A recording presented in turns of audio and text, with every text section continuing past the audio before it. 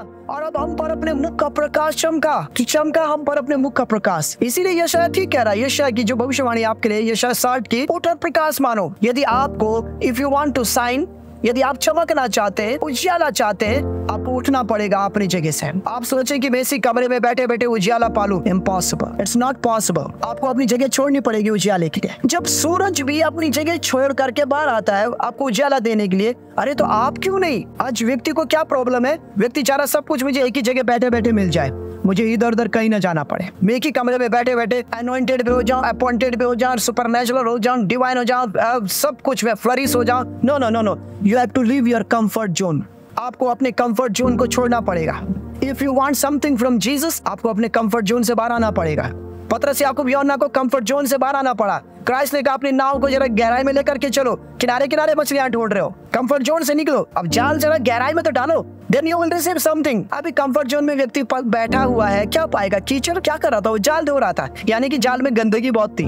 शायद जाल कहीं उतले में था। गहरे में नहीं था। इसलिए किनारे का सारा कूड़ा, करकट उस पर चिपका हुआ था। वो जाल धो रहा था। मुझे अपना जाल साफ़ करना है। मगर मुझे विश्वास करना कि टुडे आज मैं अपने जान को विश्वास रखता हूँ कि मैं यीशु मसीह पर जो मेरी ज्योति है, जो मेरी लाइफ का उजाला है, उसके कहने के अनुसार मैं गहराई में उतर रहा हूँ। And I will shine for ever and ever मैं हमेशा हमेशा के लिए चमकूँगा। मैं विश्वास करता हूँ और मैंने उसी विश्वास के सारे अपने जाल को डाल दिया गहराई में, क्योंकि मैं उस गहराई में उतर चुका हूँ, अपने जाल समेत। और अब मैं जब वहाँ से बाहर आऊँगा, मैं अद्भुत लेकर आऊँगा, क्योंकि उसका उजाला मेरे लाइफ में है। My dear you are not a dead person you have a life and you have a light आपके पास लाइट भी है और लाइट भी है because of your Yeshua but shine for your Jesus अपने प्रभु के लिए चमके।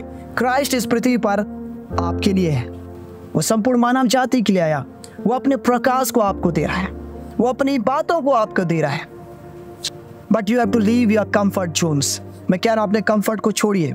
अगर आप भी चाहते हैं कि मैं डंडी पकड़ के किनारे मुंडेर पे बैठा रहूँ और सुबह से शाम हो जाए और कांटा ही बाहर खींच के लाए तो क्या बेनिफिट मिला आपने? आपने अपना टाइम वेस्ट किया, धूप में आपने अपने आप को तपाया और लास्ट में अपनी टोकरी खाली लेकर आए।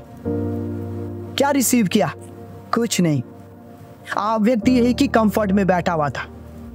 No no leave your comfort थोड़ा और ऊपर बढ़िए। मूसा ने कंफर्ट को छोड़ा, पहाड़ पर चढ़ गया। लोग कह रहे वहाँ मत जा वो परमेश्वर का पहाड़ है। मत चढ़ उस पे। उसने अपने कंफर्ट को छोड़ा चढ़ा उस पहाड़ पर। कि आखिर है क्या? जब छोड़ा तो पाया। मगर क्या पाया?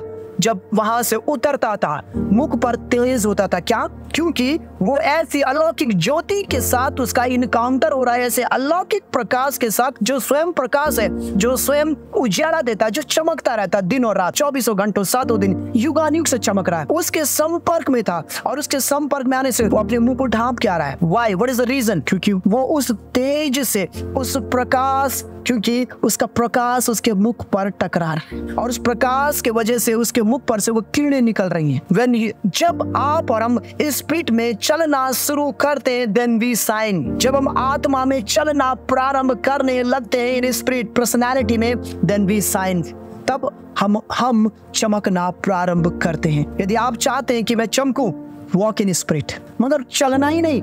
टॉक इन स्प्रिट सोचना थिंक इन स्पिरिट आप जो कुछ बोले, सुने, समझे in spirit not in body अपने बॉडीली रिलम से बाहर आ जाइए और स्प्रिट रिलम को कैरी कर लीजिए.